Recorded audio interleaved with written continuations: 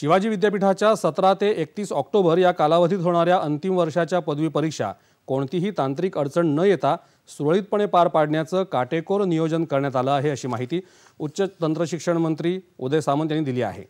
ते आज कोल्हापुरात वार्ताहरांशी बोलत होते. कोणत्याही कारणानं एकही विद्यार्थी पदवी परीक्षेपासून वंचित राहणार नाही. सर्व विद्यार्थ्यांच्या परीक्षा घेतल्या जातील असा दिलासाही सामंत यांनी यावेळी दिला. या परीक्षांच्या तयारीचा आढावा घेण्यासाठी उदय सामंत आज कोल्हापूर दौऱ्यावर आले होते.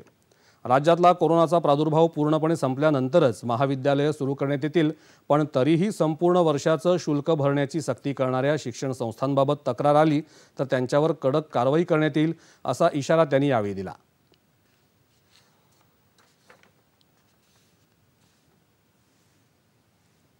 आणि दोन महत्त्वाचे जे फीच्या बाबतीत निर्णय झालेले आहेत की चार ते सहा हप्त्यामध्ये ही फी डिवाईड करावी. यावर्षी एकही रुपयाची फी वाढ करू नये हा देखील निर्णय झालेला आहे. आणि त्याच्यात आज परत एकदा मी सूचना केल्या आहेत की जिमखाना फी असेल किंवा ज्याचा उपयोगच होत नाही विद्यार्थी करत नाहीत अशा ज्या फी आकारल्या जात आहेत त्या फी फीवर देखील बंधन आणावं अशा मी सूचना आजच युनिव्हर्सिटीमध्ये केल्या आहेत. सीमावर्ती भागात राहणाऱ्या मराठी भाषक विद्यार्थ्यांसाठी स्थापन करायच्या महाविद्यालयांकरता चंदगड तालुक्यात शिनोळी इथली जागा निश्चित झाली असल्याची माहितीही त्यांनी पत्रकारांना दिली.